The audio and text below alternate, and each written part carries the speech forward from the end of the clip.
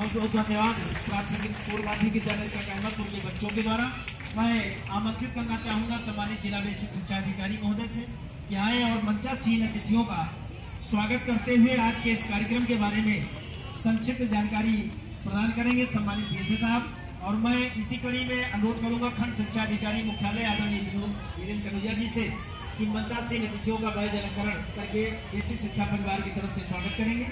BSA साहब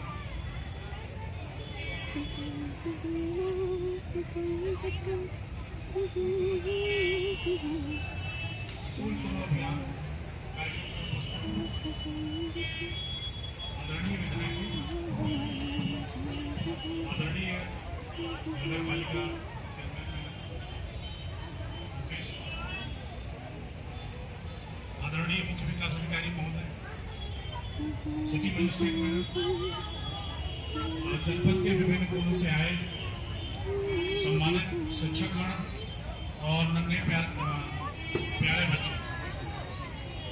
साथ ही media के सम्मानित सुधीजन जिनके माध्यम से स्कूल चलो अभियान की जो थीम है, उसको प्रसारित करने का हमको दायित्व मिला। अभी इस कार्यक्रम के बारे में माननीय मुख्यमंत्री जी ने विस्तृत से बताया। किस प्रकार से स्कूल चलो अभियान विगत वर्षों में चलता रहा और क्या क्या पिछले सालों की उपलब्धियाँ रही हैं? और अगले आने वाले सालों में हमें क्या क्या करना है? इसका एक खाका माननीय मुख्यमंत्री जी ने माननीय शिक्षा मंत्री ने अपने उद्बोधन में व्यक्त किया।